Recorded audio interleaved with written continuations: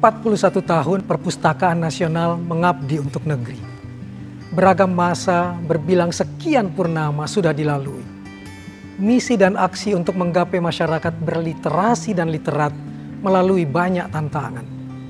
Meski demikian, perpustakaan nasional tak henti berdetak, terus berlari mengejar dan meraih capaian. Cikal bakal perpustakaan nasional dimulai dengan diintegrasikannya empat unit perpustakaan di lingkungan Departemen Pendidikan dan Kebudayaan. Perpustakaan Museum Nasional, Perpustakaan Sejarah Politik dan Sosial, Perpustakaan Wilayah DKI Jakarta, serta bidang bibliografi dan deposit pada Pusat Pembinaan Perpustakaan.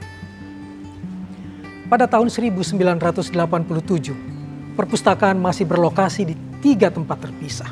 Di Museum Nasional Jalan Merdeka Barat nomor 12, Perpustakaan Sejarah Politik dan Sosial Jalan Merdeka Selatan nomor 11, dan di Museum Naskah Proklamasi Jalan Imam Bonjol. Atas prakarsa Ibu Tin Soeharto, Perpustakaan Nasional mendapatkan hibah berupa tanah seluas 16.000 meter persegi dari Yayasan Harapan Kita yang terletak di Jalan Salemba Raya 28A Jakarta Pusat. Lokasi Kawedri, sekolah HBS pertama yang didirikan pemerintah Hindia Belanda di Batavia. Kepala Perpustakaan Nasional pertama adalah Ibu Mastini Harjo Prakoso, yang merupakan mantan Kepala Perpustakaan Museum Nasional. Kepala Perpusnas kedua Bapak Hernandono, kemudian dilanjutkan oleh Bapak Dadi P. Rahmananta sebagai kepala perpusnas ketiga. Ibu Sri Sularsih melanjutkan tonggak kepemimpinan sebagai kepala perpusnas keempat. Dan saat ini kepala perpusnas dijabat oleh pemimpin kelima, Bapak Muhammad Syarif Bando. Melalui perjuangan panjang, lahirlah Undang-Undang Bidang Perpustakaan, Undang-Undang Nomor 43 Tahun 2007 tentang Perpustakaan sebagai perwujudan nyata pentingnya perpustakaan dalam mencerdaskan kehidupan anak-anak bangsa. Pada abad ke-18, perpustakaan menjadi simbol eksklusif bagi orang-orang yang berkuasa, orang-orang pintar, dan para akademisi. Siapa yang memiliki buku di abad ke-18, dialah yang menjadi penguasa. Di masa itu, pustakawan dan perpustakaan bekerja untuk mengelola koleksi mereka. Di abad 19, pustakawan dan perpustakaan bekerja untuk mengelola pengetahuan. Dan di era Kiwari ini, perpustakaan mengalami perubahan. Mengelola koleksi dan pengetahuan bukan lagi hal utama. Perpustakaan menjadi pusat transfer ilmu pengetahuan dan menciptakan masyarakat berliterasi tinggi. Karena sesungguhnya Literasi bukan sekadar mengenal huruf, kata, kalimat, menyatakan pendapat, dan hubungan sebab akibat. Literasi memiliki empat tingkatan yang bermakna luas, mulai dari skala lokal hingga global. Pertama, literasi adalah kemampuan mengumpulkan sumber-sumber bahan bacaan terpercaya, terlengkap, terkini. Kedua, literasi adalah kemampuan memahami apa yang tersirat dari yang tersurat. Sungguh mustahil kita bisa mengerti tanpa membaca. Ketiga, literasi adalah kemampuan mengemukakan ide atau gagasan, inovasi, kreativitas baru, hingga mampu menganalisis informasi. Dan keempat, literasi adalah kemampuan menciptakan barang dan jasa bermutu yang bisa dipakai dalam kompetisi global. Literasi tingkat pertama, kedua, dan ketiga tentunya baik dan bermanfaat. Namun, baru pada tingkat keempat literasi, bangsa ini akan mengalami dampak positif dari literasi. Saat mampu menciptakan barang dan jasa, terjadi peningkatan kehidupan ekonomi, sosial, pendidikan, bahkan pola pikir dalam menghadapi revolusi industri 4.0. Pada masa revolusi industri 4.0, semua bergerak cepat mengikuti laju perkembangan manusia dan dunia.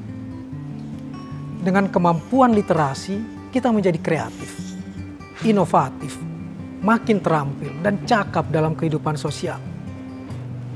Untuk apa perpustakaan mengeksklusifkan diri? Siapa yang mau mencari? Sejatinya, perpustakaan tidak hanya menyediakan bahan bacaan, tapi juga tempat belajar mengembangkan diri, sehingga masyarakat bisa berdikari, berdiri di atas kakinya sendiri.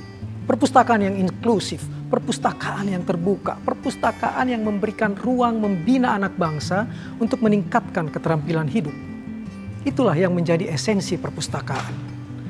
Hanya dengan membaca, kita berdaya. Konon, minat baca masyarakat Indonesia rendah. Itu kata dunia internasional, itu kata orang-orang di luar sana. Namun sudahkah Anda menyambangi pelosok-pelosok negeri tercinta ini? Sudahkah Anda melihat masyarakat di perbatasan yang kesulitan mendapatkan bahan bacaan? Mereka haus buku, mereka mencari yang bisa dibaca. Apa yang mesti kita lakukan? Apakah masyarakat harus menikmati penghakiman malas membaca? Sementara kuda pustaka, bemo pustaka, motor pustaka, mobil pustaka, perahu pustaka ramai dinanti masyarakat. Sementara perpustakaan-perpustakaan rakyat, taman-taman baca ramai dikunjungi masyarakat. Penguatan budaya baca dan literasi tidak bisa dilakukan sendiri. Harus ada upaya terintegrasi dari hulu hingga hilir. Siapa di hulu? Itu adalah Anda. Para eksekutif, pemerintah pusat, pemerintah daerah, legislatif, DPR, DPRD, yudikatif, TNI dan Polri. Juga Anda, para pengarang, penulis buku, para penerbit, perusahaan rekaman, penerjemah, penyadur. Bersama-sama buatlah regulasi distribusi bahan bacaan untuk memperkecil ketimpangan antar wilayah anggarkan belanja buku. Ingat, dibutuhkan tiga buku baru setiap tahun untuk setiap anak bangsa. Bila itu terwujud, maka saat itulah kita akan melihat kondisi hilir literasi, budaya gemar membaca dan indeks literasi yang semakin menguat. Seberapapun kerasnya usaha yang dilakukan, seberapapun besarnya anggaran yang dikucurkan, jika Anda hanya seorang diri, tidak akan memberikan dampak besar penguatan literasi. Tetapi, kalau kita bersama dan saling menopang, kita menjadi kuat dan berdampak. Bersama membangun negeri, mencerdaskan kehidupan anak bangsa melalui literasi. Dirgahayu Perpustakaan Nasional 17 Mei 1980, 17 Mei 2021 integrasi penguatan sisi hulu dan hilir budaya literasi dalam pemulihan ekonomi dan reformasi struktural. Literasi membangun negeri.